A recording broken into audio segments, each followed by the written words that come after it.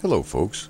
Well, today we're heading over to the Big Sioux River crossing at the Old Klondike Bridge at the Iowa South Dakota border. You know, my father in law, Ike Sr., used to fish here, and I used to go with him. Back in earlier days, Klondike had a mill with a giant cement wheel that ground grain. It was located on the Iowa side, and there used to be a dam there. The Klondike Mill is often referred to as the Kruger Mill.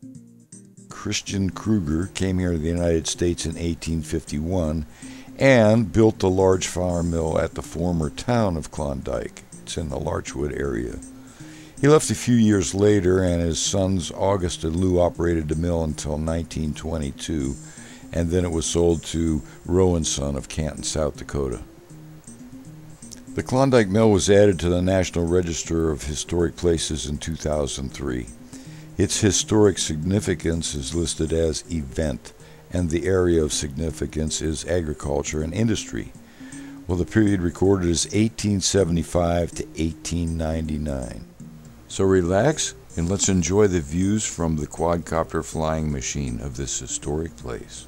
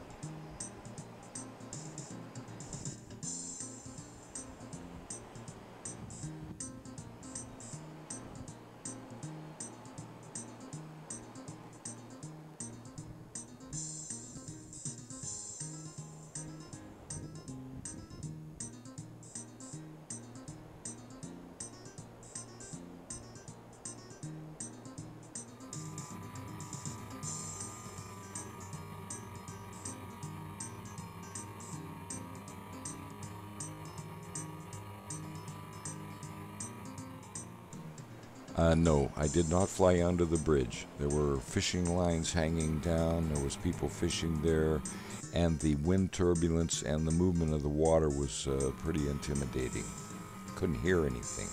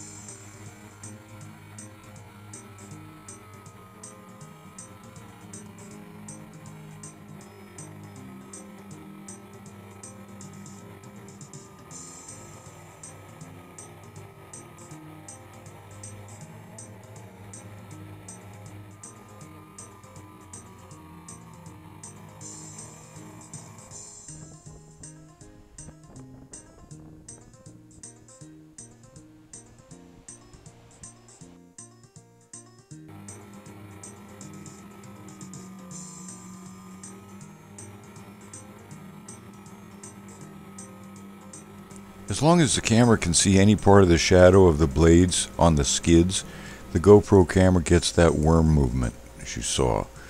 The machine is not out of balance, it's just a natural shutter effect that happens with helis too. I'm going to try to shade the top and see if that helps. The downdraft on my skids make them vibrate a bit too. Well, folks, thanks a lot for coming along and visiting the Klondike Bridge with me today. Hope you enjoyed it. Please stay tuned. We're going to have some great stuff coming up.